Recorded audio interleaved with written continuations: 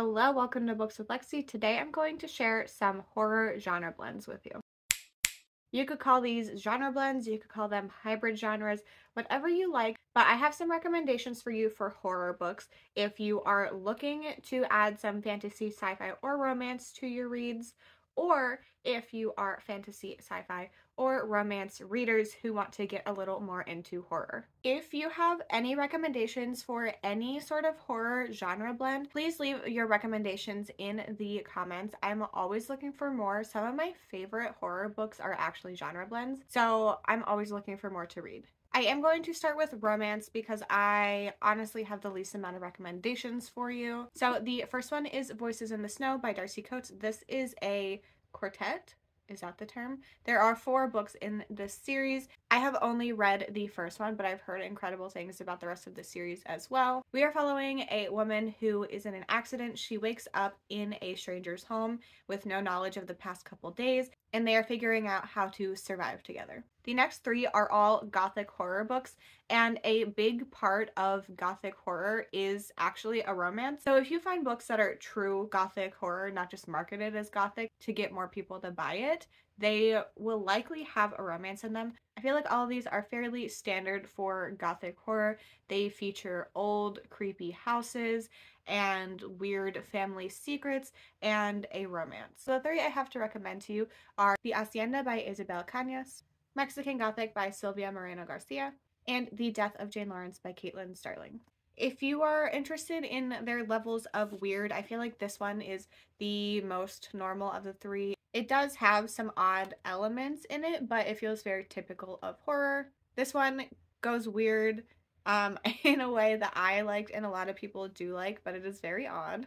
And this one is really weird. I'm actually going to use this one to move into my next category, which is horror fantasy, because this 100% fits that as well. This is definitely horror. It features a romance, but there's a lot of fantasy elements in here. It is very dark, but I will say this is very unexplained fantasy. So don't go into it hoping for like a logic based magic system. I will say that I really like this one, but I still don't understand the ending, so just be a little wary of this one, but I still really liked it. Next in fantasy, I have Ninth House by Leigh Bardugo. This deals with supernatural horror. It does have a lot of fantasy elements in here. I feel like this one is one that if you like fantasy, you definitely are already aware of this one. This also heavily features a mystery in it, and it is set at Yale and deals with secret societies. Near the Bone by Christina Henry. This one is very fantasy light. A woman is trapped on a mountain trying to escape multiple kinds of monsters.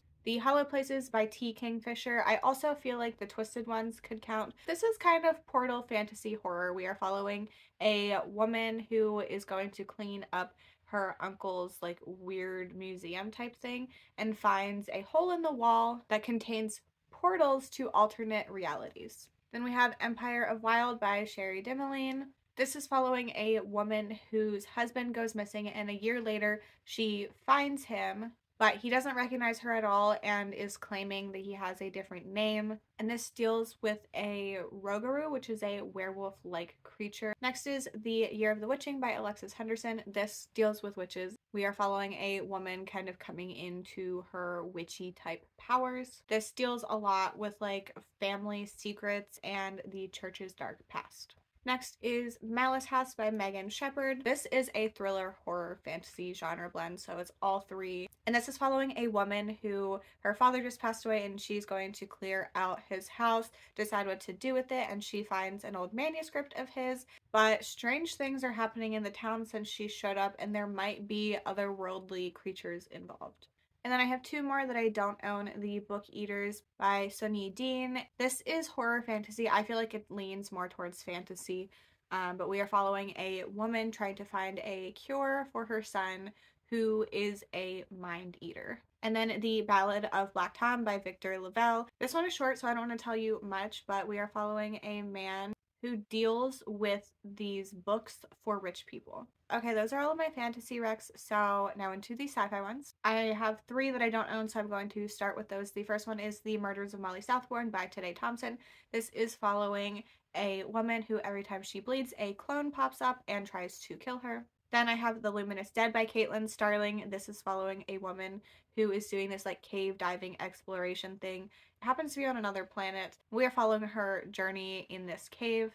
And then the third one is Your Mind is a Terrible Thing by Hailey Piper. This one is a little smart for me, but this is set on a spaceship and they are dealing with an attack. I have four more to talk about. The first one is Lakewood by Megan Giddings. This is following a woman who drops out of college to participate in a secret research facility.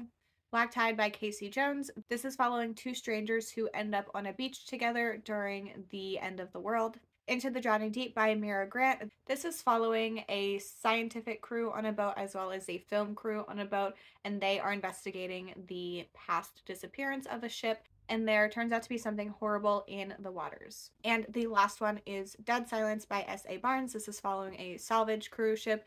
They hear a beacon distress signal for a ship that happened to go missing in the past, so they go to investigate and they have to know what happened before they meet the same fate. So, those are all of my recommendations for horror books that have either romance, sci fi, or fantasy elements. Once again, let me know if you have any recommendations for books that blend another genre with horror. They could be ones that are primarily horror and add in one of these other genres, or primarily are another genre that have horror elements in them. If you are looking to find me in other places on the internet, all links are in the description, including my Bookstagram, my Storygraph, and my Patreon. I hope you enjoyed this video. Thank you so much for hanging out with me, and I hope to see you in my next one. Bye!